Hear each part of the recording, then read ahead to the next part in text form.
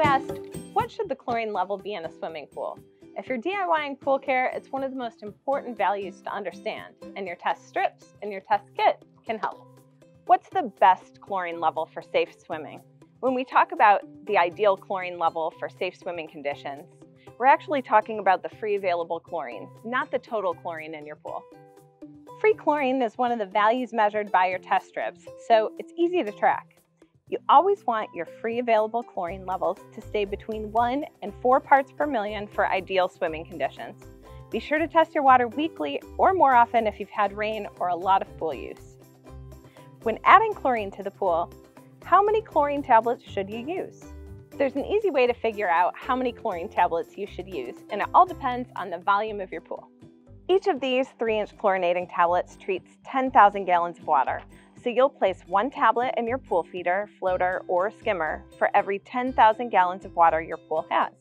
And you'll do that every week or as needed to maintain free chlorine levels of 1 to 4 parts per million. Since this pool is about 20,000 gallons, we'll add two tablets.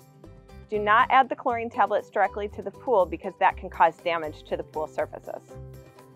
Now, pop-up pools are a little bit different. If you're wondering how much chlorine should I put in my pop-up pool or how much chlorine should I put in my 1,000 gallon pool, here's what you need to know. Above ground pools can range in size from 1,000 gallons to over 5,000 gallons. It's always better to round up when it comes to adding chlorine to your pool. However, for smaller pools, you can opt for 1 inch slow dissolving chlorinating tablets that treat fewer gallons. For instance, if you use HTH 1-inch chlorinating tablets, two of these 1-inch tablets will treat 5,000 gallons.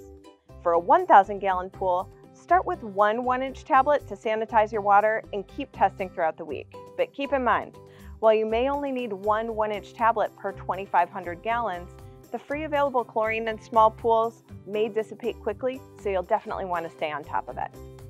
That's it for now. To learn a little more about chlorine, watch our video on the difference between chlorine tablets. This is Megan D for a clean, clear swimming pool. See you later.